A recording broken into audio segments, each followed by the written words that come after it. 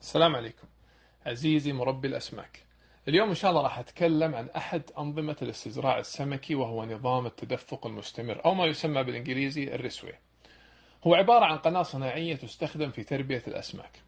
يعد هذا النوع من الأنظمة الأولى والمبكرة للاستزراع المائي اللي يتكون من مجموعة من أحواض أو قنوات مستطيلة مصنوعة من الخرسانة ومجهزة بمدخل ومخرج للمياه حيث يتم تدفق المياه باستمرار لضمان جودة المياه اللي تسمح باستزراع مكثف الأسماك. أشهر أنواع المياه العذبة اللي تزرع في هذا النظام هي أسماك ال trout أو ال catfish وأسماك البلطي. كذلك تستخدم أيضا في استزراع أسماك بحرية مثل إصبعيات أسماك السلمون اللي تحتاج إلى تيار مياه متدفق مستمر.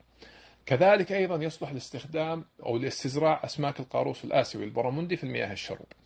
عند عمل مزرعة بهذا النظام فإن أهم عنصر هو توفر المياه الجارية مثل الأنهار أو البحيرات أو الآبار العميقة.